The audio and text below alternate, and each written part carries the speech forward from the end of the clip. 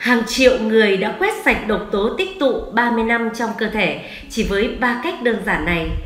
Kính thưa quý vị khán thính giả, quý vị khán thính giả thân mến, đường ruột của cơ thể con người có độ dài từ 8 đến 10 mét và có hàng ngàn nếp nhăn kèm theo, cứ khoảng 3,5 cm lại xuất hiện một khúc ngoằn.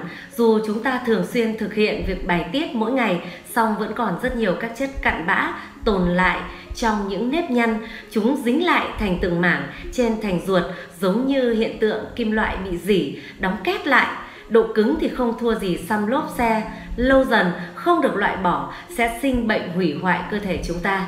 Dưới đây là ba cách làm sạch triệt để đường ruột của mình để sống khỏe mỗi ngày. Xin mời quý vị và các bạn hãy cùng ăn sạch sống khỏe theo dõi nội dung chi tiết.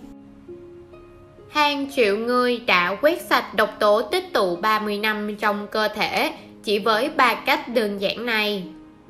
một Xoa bụng, xoa mặt hoặc tập cơ hậu môn sau ăn một tiếng. Xoa bụng Hành động này sẽ giúp dạ dày thúc đẩy quá trình tiêu hóa và hấp thụ thức ăn. Bên cạnh đó, còn giúp tăng cường lưu thông máu trong dạ dày, nhất là khi chúng ta ăn quá no, dạ dày phải co bóp xử lý khối lượng thức ăn lớn thì việc xoa bụng càng cần thiết để giảm bớt áp lực tại vùng này. Để thực hiện, trước tiên bạn hãy xoa nóng hai lòng bàn tay, sau đó để lòng bàn tay áp sát bề mặt da bụng và xoa tròn đều theo chiều kim đồng hồ, để tay ma sát với bụng để cho bụng ấm dần lên. Hãy bắt đầu xoa từ vùng thượng vị, sau đó xoa rộng sang hai bên hông, rồi xoa dần đều xuống vùng bụng dưới. Làm lần lượt như vậy cho hết phần bụng. Để tăng hiệu quả, bạn có thể tranh thủ vừa đi bộ vừa xoa bụng cũng rất tốt. Xoa mặt Y học Trung Quốc chỉ ra rằng việc massage mặt sau khi dùng bữa sẽ giúp kích thích tuyến nước bọt hoạt động tích cực hơn, từ đó giúp đẩy nhanh quá trình tiêu hóa của dạ dày, đồng thời giúp cơ mặt được giãn nở và cải thiện sức khỏe. Cách làm không hề khó, bạn chỉ cần dùng hai lòng bàn tay xoa nhẹ nhàng vùng mặt từ cằm, vuốt nhẹ lên trán rồi xoa đều sang hai bên. Tập cơ hậu môn những bệnh nhân mắc bệnh trĩ và các bệnh liên quan đến hậu môn hay trực tràng, tập bài tập này rất tốt. Cách tập như sau. Đầu tiên, quý vị nhớ thả lỏng toàn thân, hít một hơi thật sâu, sau đó dần dần thở ra nhẹ nhàng. Đồng thời dùng lực thiết chặt cơ hậu môn. Thực hiện luân phiên như vậy khoảng 2 đến 3 lần. 2. Đảm bảo đi đại tiện đều đặn và đúng giờ. Đường ruột thông thoáng, sạch sẽ, chính là yếu tố quan trọng giúp cơ thể khỏe mạnh và tránh bị nhiễm bệnh. Cho nên, mọi người hãy chịu khó đi đại tiện đều đặn nhé. Bởi nếu không thực hiện thói quen này thường xuyên, sẽ vô tình tạo áp lực lên hệ tiêu hóa, kéo dài thời gian tích trữ độc tố, khiến cho chức năng của hệ tiêu hóa lâu ngày sẽ yếu đi, khả năng miễn dịch của cơ thể cũng bị suy giảm, kéo theo các bệnh khó chịu như táo bón, tiêu chảy, bệnh trĩ, nhiễm trùng đường ruột, viêm loét đại tràng. Không cẩn thận, có thể biến chứng thành ung thư đại tràng, ung thư ruột, thậm chí là tử vong. Vậy một tuần nên đi đại tiện mấy lần và đi như thế nào mới là tốt nhất? Hầu hết, mọi người thường buồn thì mới đi. Xong nếu gọi là thời gian lý tưởng nhất thì các chuyên gia cho rằng nếu tập được thói quen đi đại tiện vào buổi sáng, khoảng từ 5 đến 7 giờ sáng là tốt nhất. Bởi vì vào ban đêm khi chúng ta nghỉ ngơi cũng là lúc hệ tiêu hóa hoạt động phân hủy thức ăn mạnh mẽ nhất. Cho nên rất có thể vào buổi sáng ngay sau khi thức dậy chúng ta sẽ cảm thấy buồn đi đại tiện.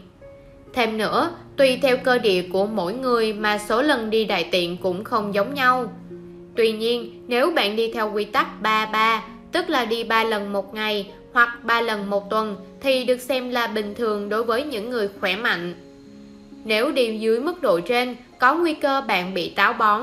Còn nếu đi nhiều hơn, tức là bạn bị tiêu chảy. Nhưng vấn đề là làm thế nào để duy trì được thói quen đại tiện thường xuyên?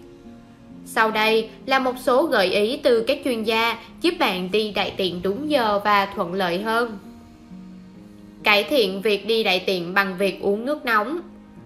Nước nóng sẽ giúp kích hoạt hệ tiêu hóa bằng cách thúc đẩy các múi cơ trong ruột, làm tăng nhu động ruột, khiến cho các chất thải trong cơ thể nhanh chóng được đẩy về phía trực tràng, tạo cảm giác buồn đi đại tiện. Gợi ý nhỏ là quý vị có thể sử dụng cà phê nóng vì thuốc uống này có chứa caffeine, có khả năng tăng hiệu quả co bóp của ruột gấp 60% so với nước nóng thông thường. Hoặc quý vị có thể sử dụng ngũ cốc ăn làm bữa sáng cũng đem lại hiệu quả cao. Cải thiện việc đi đại tiện bằng việc thức dậy sớm hơn. Theo các chuyên gia sức khỏe, buổi sáng là thời gian đại tràng kích thích mạnh mẽ. Vì thế, nếu muốn tập đi đại tiện đúng giờ thì đừng cho phép mình ngủ nướng và nhịn đi vệ sinh. Lâu dần, chu trình đi vệ sinh của đường ruột sẽ bị thay đổi, không phát tín hiệu buồn đi vệ sinh vào buổi sáng nữa, khiến việc đi vệ sinh khoa học đúng giờ trở nên khó khăn hơn. Vậy nên, hãy rèn luyện thói quen dậy sớm quý vị nhé. Cải thiện việc đi vệ sinh bằng cách đi bộ. Đi bộ là hoạt động thể chất phổ biến rất tốt cho sức khỏe. Không chỉ giúp lưu thông máu mà còn tăng cường hệ tiêu hóa, kích thích nhu động ruột. Do vậy, hãy tích cực vận động mỗi ngày bằng việc đi bộ vài vòng. Điều này sẽ kích thích cảm giác muốn đi đại tiện, đồng thời cũng giải quyết được tình trạng táo bón của bạn đấy. Cải thiện việc đi vệ sinh bằng việc massage vùng đáy chậu. Chắc quý vị sẽ thắc mắc vùng đáy chậu là ở đâu? Đó là khu vực nằm giữa hậu môn và cơ quan sinh dục. Quý vị chỉ cần dùng ngón tay giữa nhẹ nhàng massage theo chuyển động tròn, thỉnh thoảng lại ấn nhẹ vào chính giữa vùng đáy chậu sẽ làm kích thích các dây thần kinh, nới lỏng hậu môn và làm mềm các phần cứng. Cải thiện việc đi vệ sinh bằng cách ngồi bồn cầu đúng tư thế. Hiện nay, hầu hết các gia đình đều xây bồn cầu theo dạng bệt vì dễ ngồi và trông sạch sẽ hơn. Tuy nhiên, ngồi bệt như vậy lại không thực sự phù hợp với khoa học bởi tư thế này khiến nút thắt ở giữa trực tràng và đại tràng không được thả lỏng hoàn toàn, làm cho phân khó đào thải ra ngoài. Để khắc phục tình trạng này, quý vị chỉ cần kê thêm một chiếc ghế nhỏ phía dưới chân để tạo thành tư thế ngồi xổm sẽ giúp việc đi vệ sinh trở nên thuận tiện và hiệu quả hơn. Cải thiện việc đi vệ sinh bằng cách bổ sung chất xơ. Táo bón là hậu quả của việc ăn thiếu chất xơ. Vậy nên, muốn việc đi đại tiện trở nên dễ dàng, phần mềm hơn, dễ đi qua hậu môn hơn thì chúng ta cần bổ sung chất xơ hàng ngày. Một số thực phẩm giàu chất xơ quý vị có thể tham khảo là bắp cải, rau cải son, nấm, súp lơ, các loại đậu và gạo lứt. Và đừng quên cân đối các chất béo lành mạnh, thịt, cá để có thể có đầy đủ chất dinh dưỡng nhất nhé.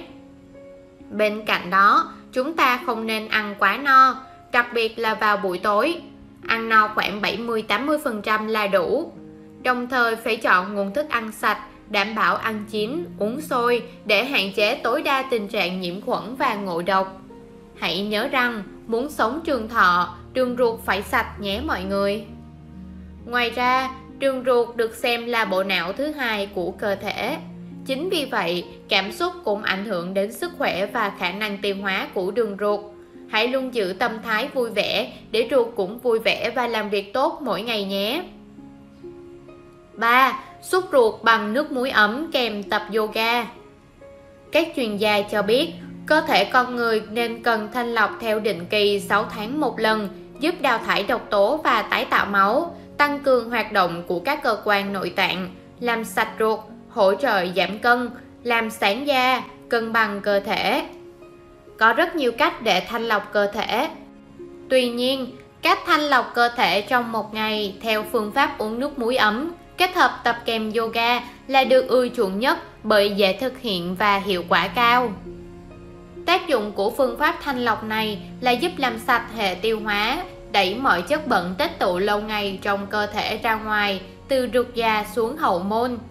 Nhờ đó, cơ thể trở nên nhẹ nhõm, tối ngủ cũng ngon giấc hơn. Nên chọn một ngày nghỉ trong tuần để thực hiện phương pháp này. Trong ngày đó, quý vị không vận động nặng. Sau khi xúc ruột xong, chỉ nằm nghỉ ngơi thư giãn và ăn nhẹ bằng cháo loãng. Để thực hiện phương pháp này, quý vị cần chuẩn bị một ly nước ấm pha cùng một muỗng cà phê muối khoảng 5 gram. Nếu thấy mặn thì cho nửa thìa. Tốt nhất là quý vị nên chuẩn bị sẵn một bình nước nóng và một bình nước lạnh để tiện pha chế. Vì chúng ta uống tới đâu mới pha tới đó, để nước luôn ấm, không uống nước muối nguội sẽ không có tác dụng. Thêm vào đó, quý vị hãy nấu sẵn một nồi cháo loãng để xúc ruột xong sẽ nạp năng lượng. Cách thực hiện cụ thể Uống một cốc nước muối ấm, sau đó thực hiện 4 tư thế yoga.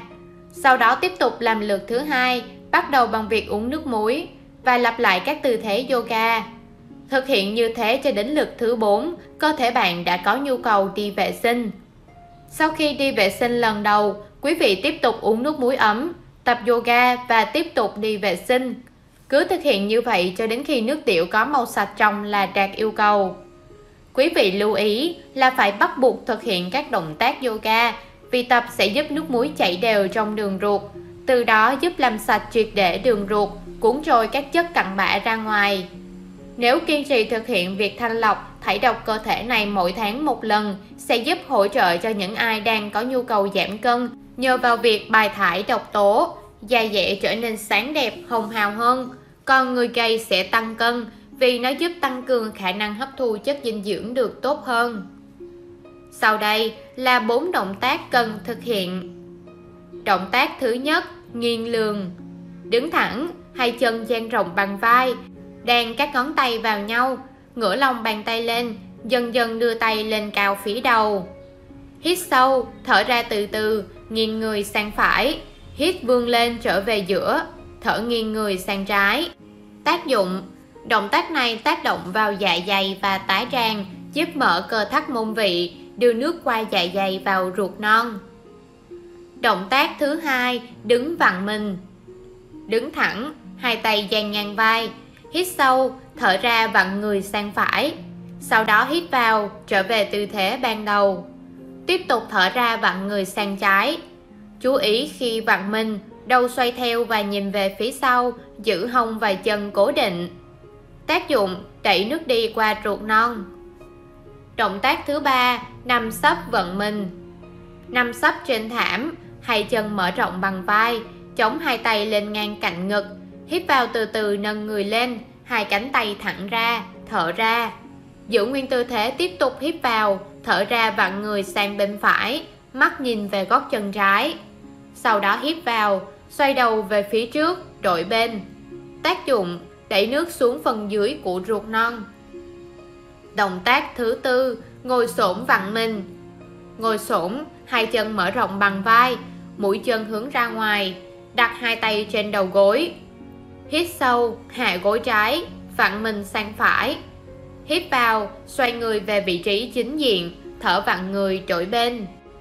Tác dụng giúp thải loại các chất cặn bã ra khỏi cơ thể. Lưu ý, sau khi uống và đã uống và tập đến lượt thứ tư mà vẫn chưa buồn đi vệ sinh, quý vị tiếp tục uống và tập thêm hai lượt nữa. Sau đó nằm nghỉ ngơi, xoa bụng theo chiều kim đồng hồ. Về dinh dưỡng sau khi thực hiện xúc ruột, uống nửa cốc nước lọc, đợi 30 phút sau. Ăn một bát cháo nấu loãng không cho thêm muối. Ngoài ra, trong ngày thải độc, quý vị nên chọn ăn các loại ngũ cốc, rau luộc và hầm như kiêng hoàn toàn các món nhiều protein như thịt cá, phô mai, rau quả tươi, nấm khô, gia vị cay, chua, không uống các loại sữa hay thức uống có cồn, có ga.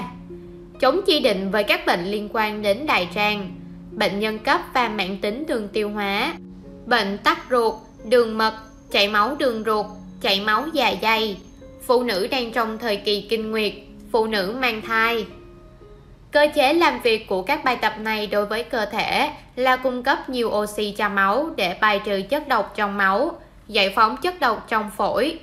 Bên cạnh đó, các động tác yoga này còn giúp gan thận hoạt động tốt hơn, nâng cao hiệu suất để thực hiện tốt chức năng đào thải độc tố của mình. Sau mỗi bữa ăn là khoảng thời gian hệ tiêu hóa hoạt động mạnh mẽ nhất.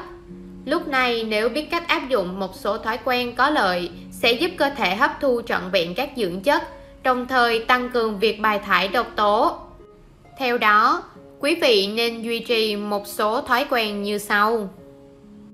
Vâng kính thưa quý vị và các bạn, Cuộc đời sẽ luôn đầy rẫy những chuyện không thuận ý khiến bạn phải phiền lòng. Kỳ thực, đó là bạn chưa thực sự thấu hiểu cuộc sống mà thôi. Mùa xuân được nảy mầm trong cái đông giá lạnh. Ánh bình minh bắt đầu từ những đêm đen. Cuộc sống sẽ chỉ trao cho bạn những món quà quý báu khi bạn thấy bạn xứng đáng và sẵn sàng cho đi. Vậy nên khi gặp khó khăn, hãy cứ mỉm cười và tin tưởng vào cuộc sống. Hãy coi những điều trái ý như là một nấc thang để bạn lên cao hơn, đi xa hơn và đón nhận những món quà tuyệt vời hơn quý vị nhé. Đó cũng chính là thông điệp mà ban biên tập chương trình xin gửi tới quý vị thân thương. Xin kính chào, hẹn gặp lại quý vị trong các chương trình tiếp theo.